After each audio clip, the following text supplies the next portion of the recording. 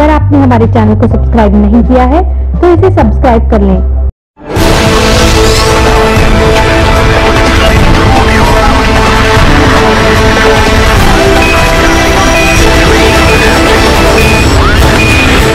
Bathinda CIA two police ने गुप्त सूचना के आधार पर नाजायज असला बेचने वाले गिरोह के चार लोगों को पकड़ने में सफलता हासिल की है। पकड़े गए चारों व्यक्तियों से पुलिस को नौ अलग अलग बोर के देसी पिस्तौल बरामद हुए हैं। सभी के ऊपर पुलिस ने मामला दर्ज करो और आगे पूछताछ शुरू कर दी है। एसपी ने प्रेस कॉन्फ्रेंस में बताया कि सीआईए टू पुलिस को सूचना मिली थी कि कुछ लोग बठिंडा में नाजायज असला बेचने का कारोबार करते हैं, जिसके बाद उन्हें नाकाबंदी कर इन व्यक्तियों को एक कार में पकड़ा जब यह बठिंडा की ओर आ रहे थे तलाशी लेने पर इनके कब्जे से नौ देसी पिस्तौल बरामद किए ਸੀਆਈਏ 2 ਨੂੰ ਸਲਾਹ ਮਿਲੀ ਵੀ ਕੁਝ ਬੰਦਿਆਂ ਦਾ ਗੈਂਗ ਆ ਜਿਹੜਾ ਨਜਾਇਜ਼ ਅਸਲਾ ਲਿਆ ਕੇ ਵੇਚਦੇ ਨੇ ਉਸ ਸਲਾਹ ਤੇ ਸੀਆਈਏ ਦੀ ਪਾਰਟੀ ਨੇ ਨਾਕਾ ਲਾਇਆ ਜਿਹਦੇ ਇੱਕ ਗੱਡੀ ਦੇ ਵਿੱਚੋਂ ਚਾਰ ਵਿਅਕਤੀ ਕਾਬੂ ਕੀਤੇ ਤੇ ਉਹਨਾਂ ਦੇ ਕੋਲੋਂ ਵੱਖ-ਵੱਖ ਬੋਰ ਦੇ 9 ਅਸਲੇ ਬਰਾਮਦ ਹੋਏ ਨੇ ਇਹ ਵੀ ਗੱਲ ਸਾਹਮਣੇ ਆਈ ਵੀ ਗੱਡੀ ਆ ਉਹਦੇ ਉੱਤੇ ਦੀ ਉਹਨਾਂ ਨੇ ਜਾਲੀ ਨੰਬਰ ਪਲੇਟ ਲਾਈ ਹੋਈ ਸੀਗੀ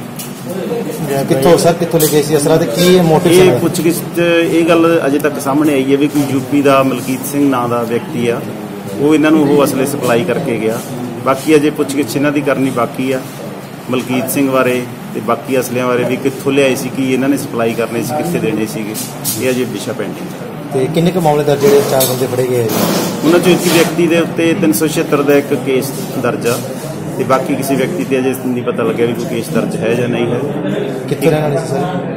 ਇਹ ਤਲਵੰਡੀ ਸਾਬੋ ਤੇ ਸਿੰਘਪੁਰਾ ਤੇ ਇੱਕ ਤਖਤਮਲ ਦਾ ਇੱਕ ਤਖਤ। ਜੀ ਅੱਛਾ।